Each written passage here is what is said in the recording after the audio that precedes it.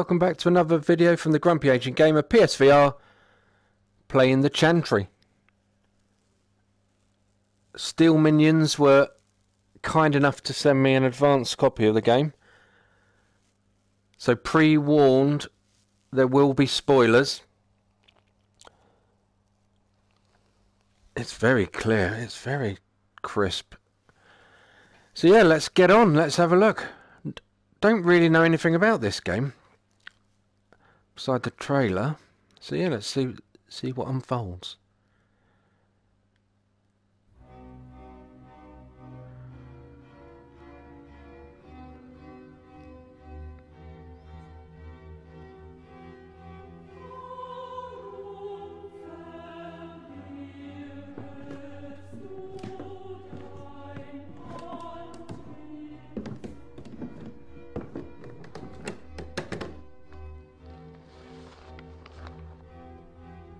Decisions of no value. From the presence of the Lord, and smote Job with sore boils from the sole of his foot unto his crown. Then said his friends unto him, Know that God exacteth of thee less than thine iniquity deserveth.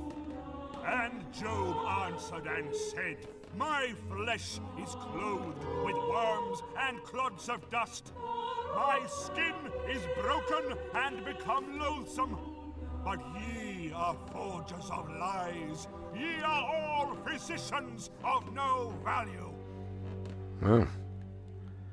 He's cross. 10th of February, 1823. The Chantry. What? Where am I?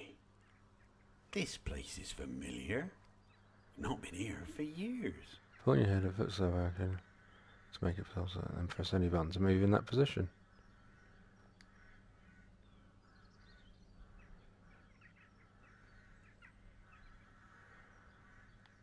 Okay.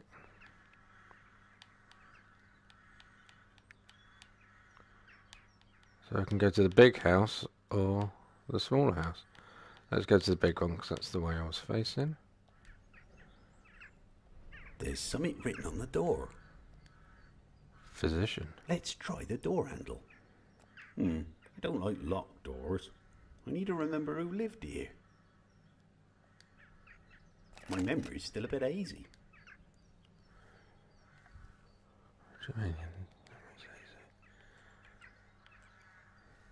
Very foggy.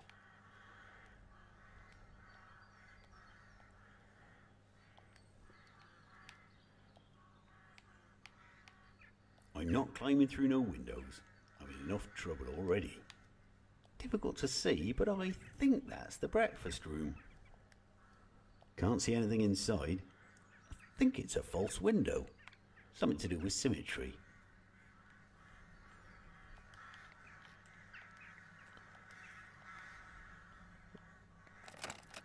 Something else may jog my memory further.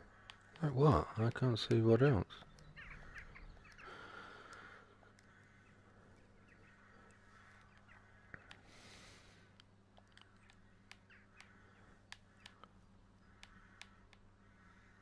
So I think to be at an impasse. There's no other route, is there?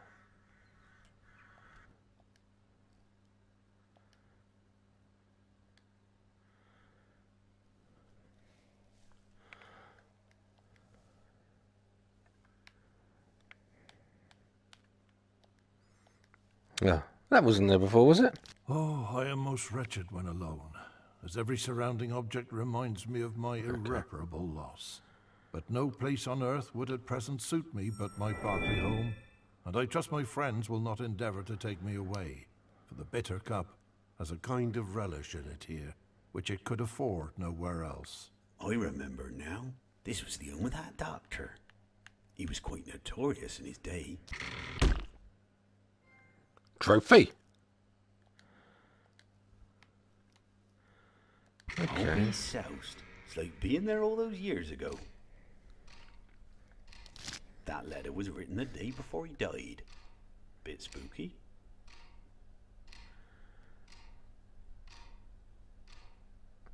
My dear William, I hear by your father that you will be re- you will return in a few days to Bristol. Be assured you will take with us my best wishes and affections. I am happy to certify that no boy could behave better than you did during your stay with me at the Chantry. Pursue this line of good conduct, my dear William, and you will be happy yourself and make your father and everyone who loves you happy too.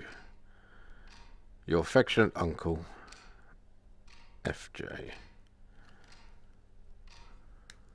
Why didn't that glow up?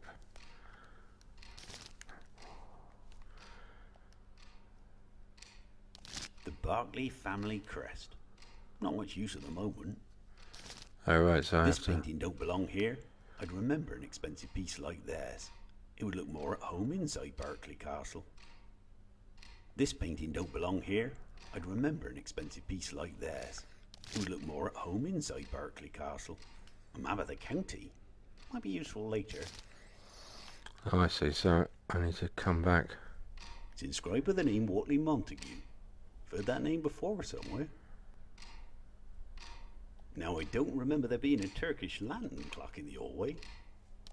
That letter was written the day before he died. Bit spooky. The Berkeley family crest. Not much use at the moment. What? Can't I go over there? It's inscribed with the name Wortley Montagu. I've heard that name before, so. This was a doctor's country home. He had a townhouse somewhere in these parts, too. Mm, Can't remember where, but it'll come back to me. This quite interesting. this place Chantry Cottage. I don't remember why, but there's been grand buildings round here for centuries.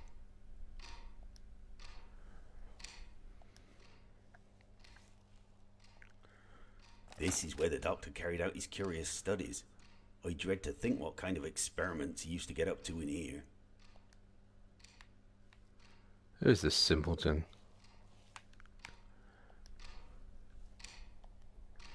I need to remember more before I can go in here.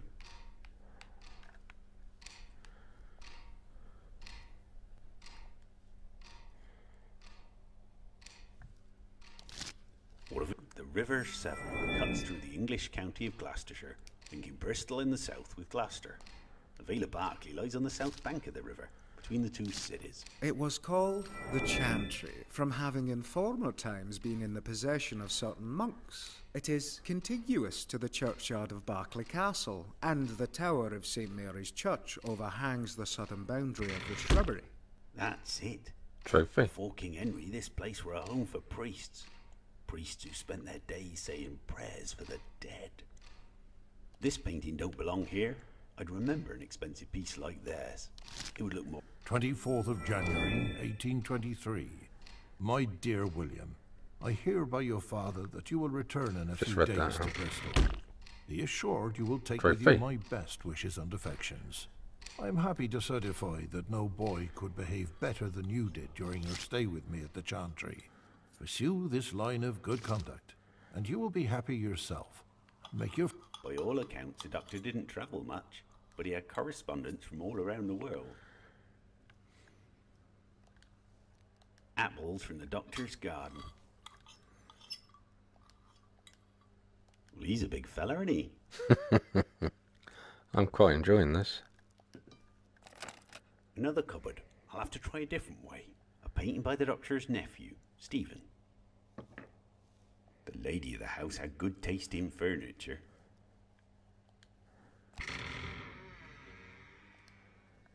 What's this? Thus our hero, being plundered of his estate and bereaved of his children, says, Naked came I out of my mother's womb, and naked shall I return thither. The Lord gave, and the Lord hath taken away. Blessed be the name of the Lord. A fine piece of silverware. Might be useful later. A stone bust of Beethoven. No use to me at the moment. At length the infection spread to the palace and reached the young and blooming queen. She received the intimation of her danger with true greatness of soul. She gave orders that every servant who had not had the smallpox should instantly leave Kensington House and then calmly awaited her fate. It's super realistic, isn't it? Like it's really um. It's really I've got no um comments. My wife just messaged me. You love a trophy? I certainly do. The comments aren't working. Just looking at my phone.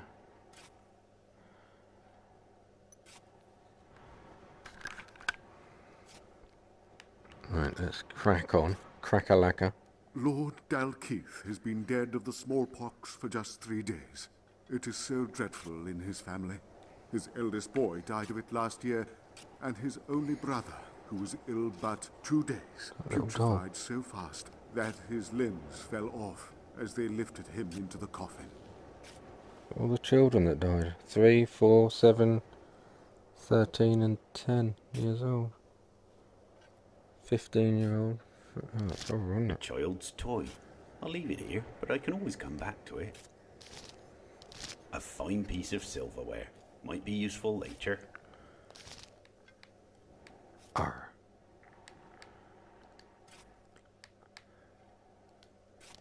A stone bust of Beethoven. No use to me at the moment.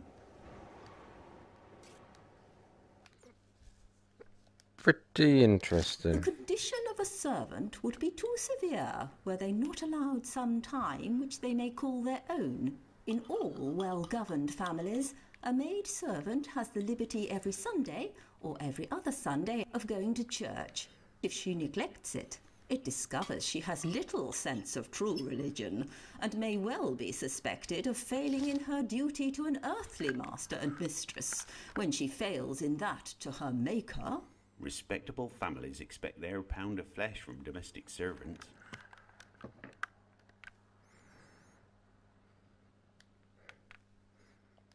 Well, he's a big fella, isn't he? Apples from the doctor's garden.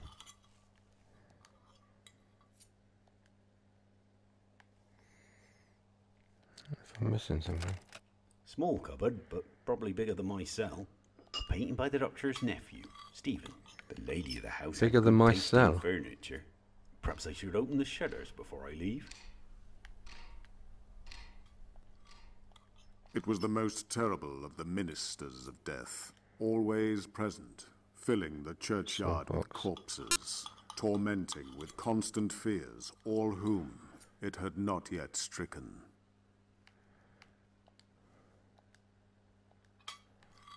So in that case, I go, let's go and see these things. Beethoven and Mozart survived the smallpox with just a few scars, but many that survived it ended up blind as well. Cooking up. Lord Dalkeith has been dead of the smallpox for just three days. It left hideous traces of its power on those whose lives it spared, turning the babe into a changeling, at which the mother shuddered, and making the eyes and cheeks of the big-hearted maiden objects of horror to the lover. It left hideous traces of its power on those whose lives it spared, oh, turning the babe into a changeling, at which the mother shuddered, and making the eyes and cheeks of the big-hearted maiden objects of horror to the lover.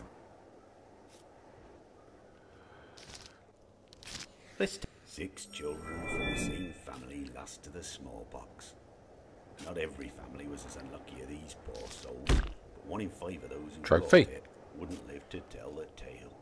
Unfortunately, not everyone who survived the smallpox could live with the terrible scars it left behind.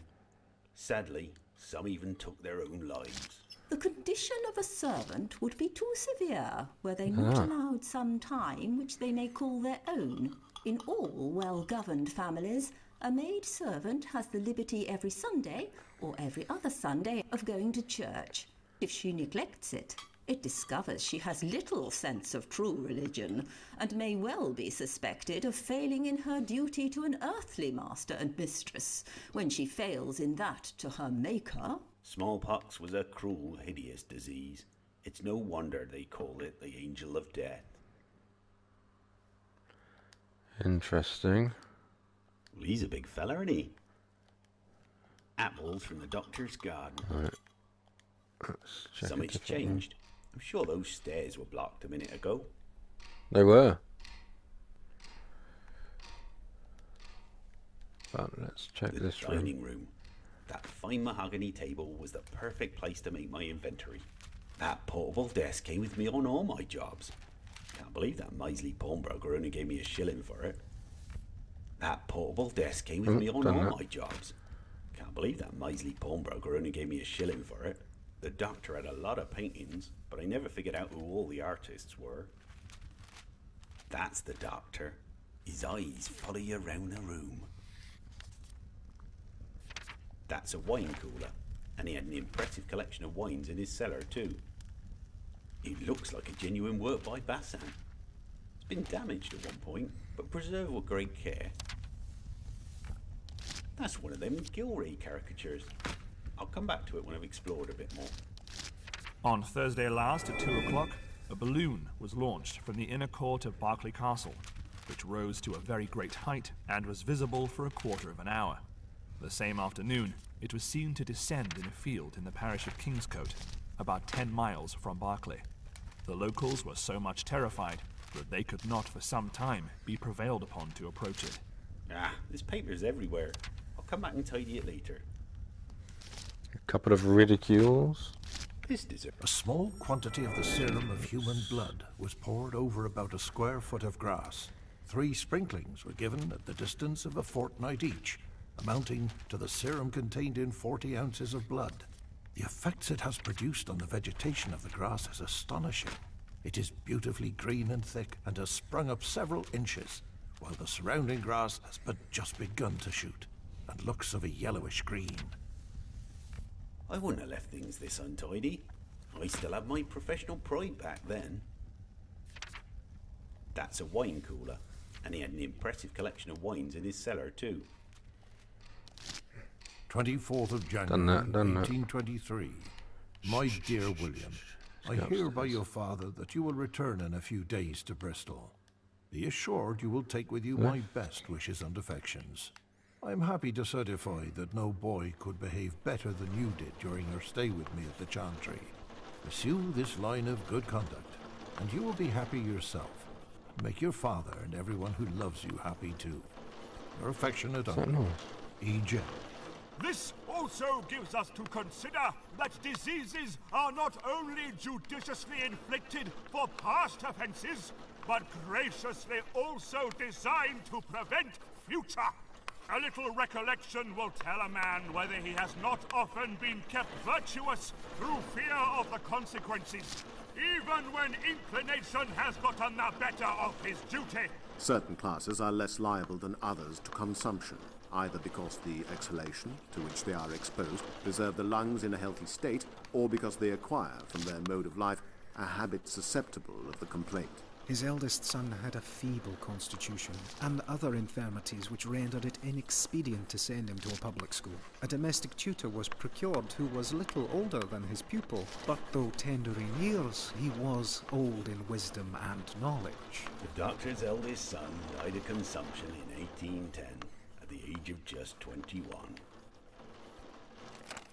That's just a cupboard. There's no way through here. Nice landscape.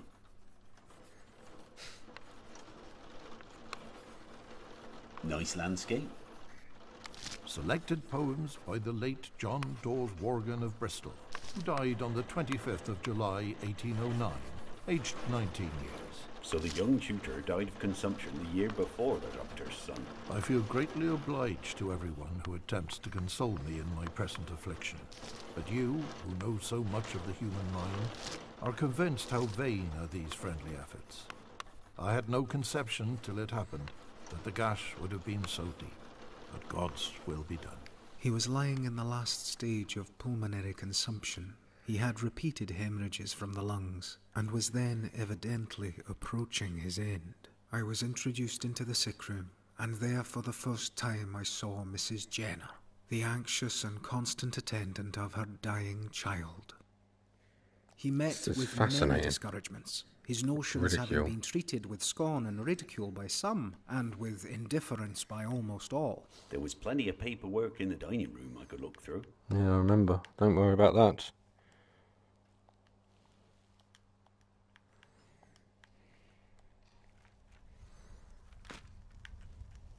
That portable desk came with me on all my jobs.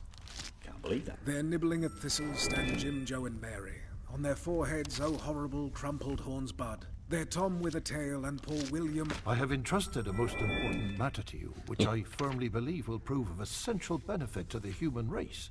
I'm going a should bit quick, wish aren't I? what I have stated to be Didn't brought mean to skip that last one. For should anything untoward happen, I should be made, particularly by my medical brethren, the subject of ridicule. For I am the mark they all shoot at. A small quantity of the serum of human blood On Thursday last at 2 o'clock, a balloon was launched from the inner court of most Berkeley Castle, which I have entrusted a most important matter to you, which I firmly believe will prove of essential benefit to the human I race. missed one. I should not wish what I have. On Thursday last at 2 o'clock, a balloon was launched from the inner court of Berkeley Castle, So your book is out at last. Well, I can tell you that there bean't a copy sold in our town, nor shan't neither, if I can help it. You must have believed in something to have resisted so Trophy. scorn.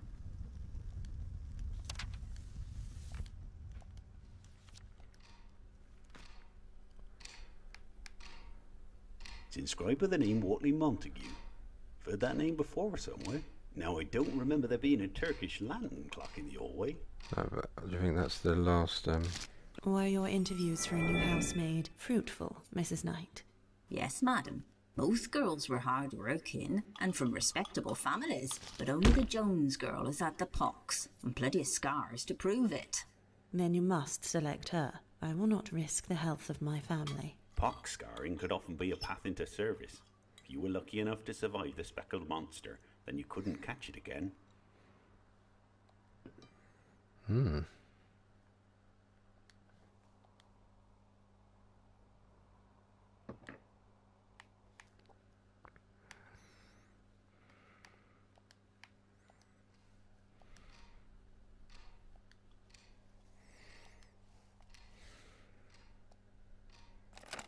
My memory's still a bit hazy.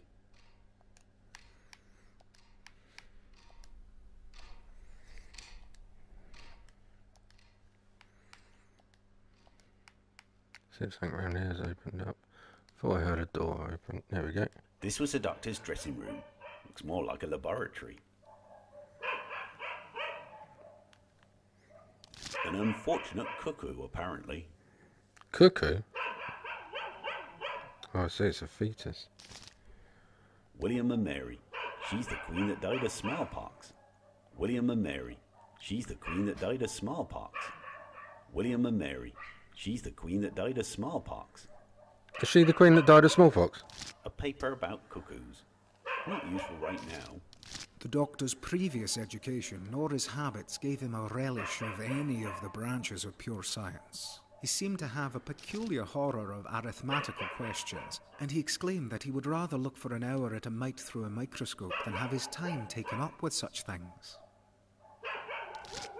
What have we got here? I selected a healthy boy, about eight years old, for the purpose of inoculation for the cowpox.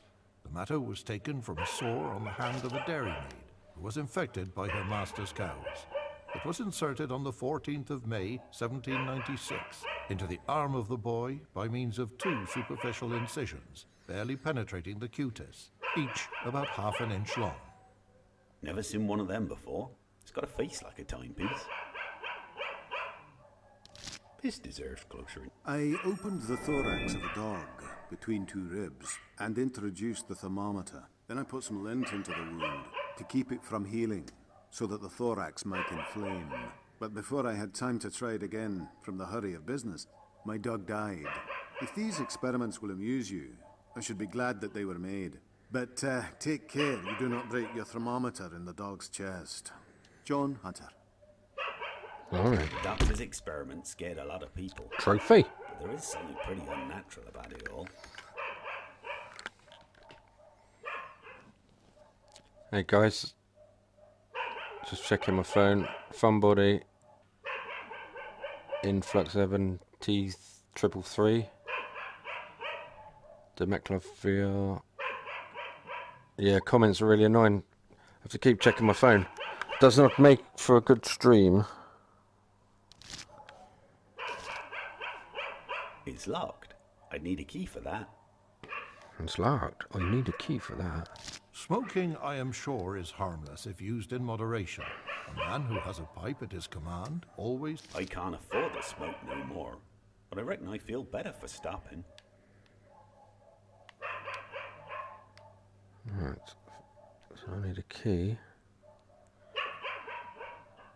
William and Mary. She's the queen that died of smallpox.